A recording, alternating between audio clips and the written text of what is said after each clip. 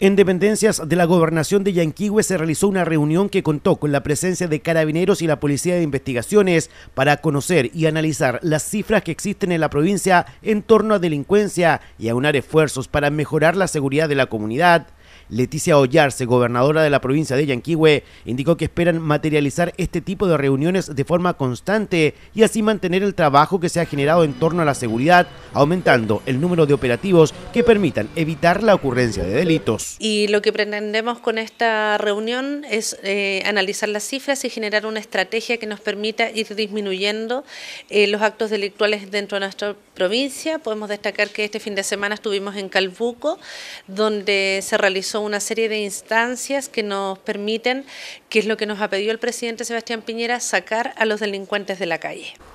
Este trabajo de coordinación fue valorado por el teniente coronel Paulo Capetillo, subprefecto administrativo de la Prefectura de Carabineros de Yanquihue, quien señaló que estas instancias permiten un mejor trabajo en materia de seguridad con la finalidad de tener una ciudad más segura. Toda coordinación con eh, la autoridad gubernamental es muy positiva por cuanto se pueden abordar en tema integral muchas situaciones que son de la seguridad y que no son solamente responsabilidad de las policías, sino que también eh, denotan y necesitan de una participación ciudadana mayor. ¿Ya? Existen incivilidades que no siendo delitos deben ser eh, afectadas a nivel de municipio. Existen también, eh, eh, por ejemplo, participación innecesaria participación de la Fiscalía, de los tribunales, porque esto tiene que ser una actividad mancomunada de toda la comunidad, de toda la sociedad chilena para disminuir el delito.